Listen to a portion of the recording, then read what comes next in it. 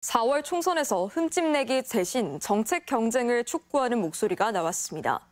전북특별자치도의회 민주당 소속 의원들은 오늘 도의회에서 기자회견을 열고 아니면 말고식의 고소고발전은 정치 혐오를 부추기는 선거의 적폐라며 강도 높게 비판했습니다. 또 이번 총선이 윤석열 정권 심판을 위한 중대한 선거인 만큼 정책 경쟁을 통해 아름다운 경선 문화 정착에 나서달라고 후보들에게 호소했습니다.